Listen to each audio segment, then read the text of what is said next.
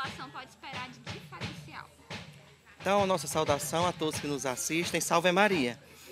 Então, é com o coração cheio de alegria que já são 113 anos de coroação de Nossa Senhora em Canidé.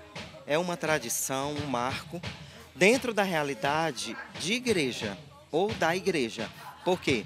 Porque o que nós apresentamos aqui, o que nós vamos viver aqui, o que eu posso dizer assim, é uma verdade. Não é, não é um teatro, não é uma dramatização, não.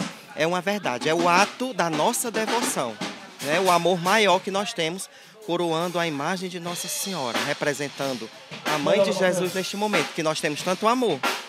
Então o povo de Canidé tem uma afeição toda especial à mãe de Jesus. Então é nessa noite da coroação que essa praça inteira está lotada, ela consegue reunir tantos corações em torno de Jesus. É ela que é a estrela da evangelização. Então, dentro do sentido da realidade, é esse. Nós reunimos as pessoas aqui não para um espetáculo, porque na realidade também é. Porque nós se utilizamos das artes, do teatro, da iluminação, do som, para a gente conseguir passar a evangelização para cada pessoa que vai estar aqui. O sentido é esse.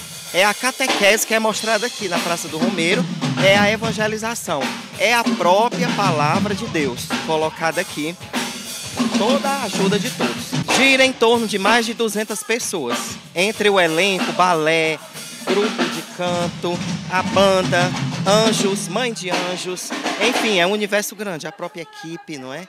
Então, assim, é difícil, mas é muito bom, porque a gente faz o que ama, né? E a gente acredita no que faz e acredita nisso.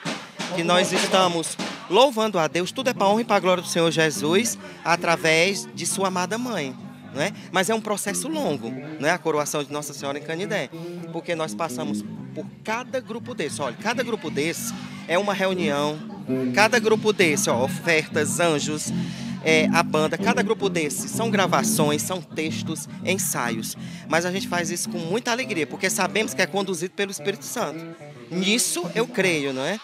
E se torna bom, porque o que nós fazemos aqui é primeiramente para a honra e para a glória de Deus e para todos os devotos, todas as pessoas que vão estar presentes nessa praça.